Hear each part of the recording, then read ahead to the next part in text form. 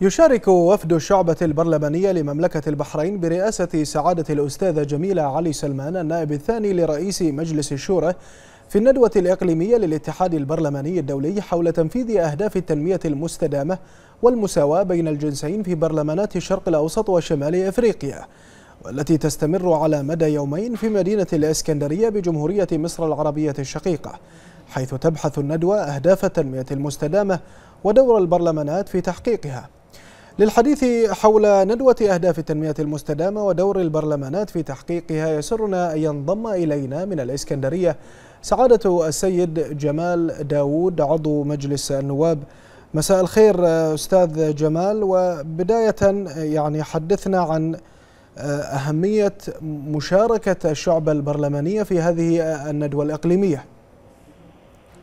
مساء الخير للجميع. بسم الله الرحمن الرحيم. طبعا ما في شك أن جميع الدول العربية المشاركين في أعمال هذه الندوة أبدوا اهتمامهم الكبير بموضوع التنمية المستدامة خاصة أنهم اكتشفوا بأن الموضوع أصبح ملحا على المستوى الدولي.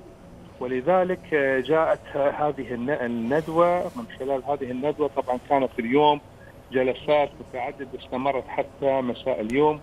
وركزت على أهداف التنمية المستدامه ودور البرلمان في تحقيقها بالإضافة إلى التلائم مع الغرض مشاركة البرلمانات العربية في أهداف التنمية والحوكمه الفعالة كعنصر حيوي في التنمية المستدامه. وكان طبعا هناك مشاركات عديدة والتركيز على دور البرلمانات في تحقيق التنمية المستدامه. ركز طبعا وفد البحرين من خلال هذه المشاركة على ما تم تحقيقه في على المستوى البحريني في في كثير من المجالات خاصة في مجال دور المرأة والمساواه بين المرأة وتحقيق الكثير من الأمور ذات العلاقة بدفع المرأة للحصول على مكاسب كثيرة بأن تحققت لها في المشاركات السياسية والاقتصادية والتجارية. وكذلك وصلت إلى أعلى المراتب بأن أصبحت المرأة اليوم في البحرين أيضا تقود المقاتلات الحربية كسلاح الجو آه وفقا لما أعلن مؤخرا. نعم. فهذه الأمور المشاركه هذه طبعا أبدوا فيها إعجاب شديد وفي نفس الوقت كانت هناك بعض الرغبات في أن تتطور هذه المسائل لمستويات أكبر بحيث أن ندفع ببعض التشريعات من خلال مجلس النواب البحريني أو السلطة التشريعية في البحرين لتعطي دافع أكبر وتحقيق حقوق ومجالات أوسع للمرأة البحرينية.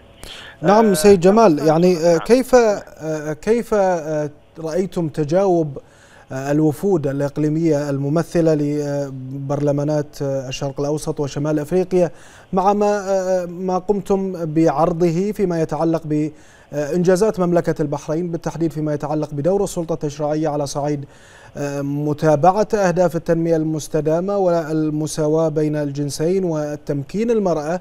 كيف رأيتم التجاوب في هذه الندوة من برلمانات الإقليم؟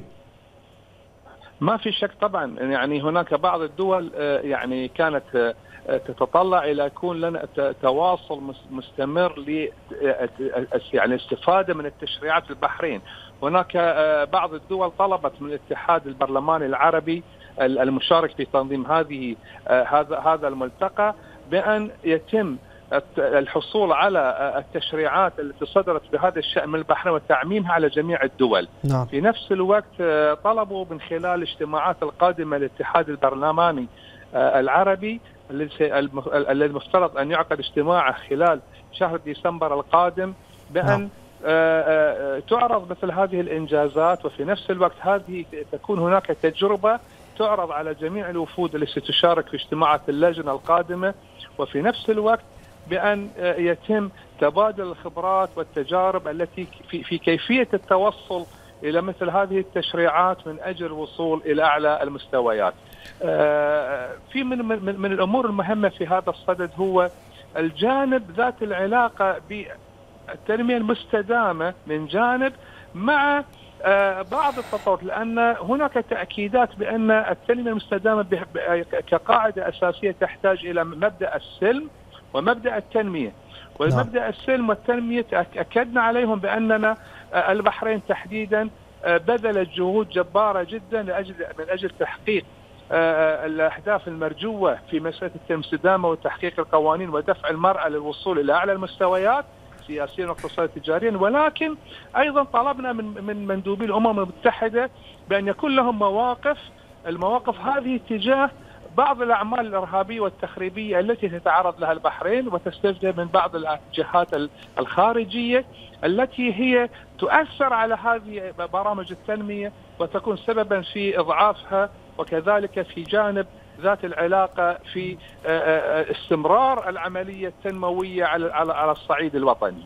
فكانت هناك طبعا مواقف نعم. جدا يعني يعني قريبة جدا في من تجاوبها وتأكيدات بأهمية استمرار الديمقراطية والعمل على التواصل نعم. والدفع ببرامج الديمقراطية دون أن يكون هناك أي تأخير في هذا المجال. نعم من الإسكندرية سعادة السيد جمال داوود عضو مجلس النواب شكرا جزيلا لك ونتمنى لكم التوفيق في هذه الاجتماعات.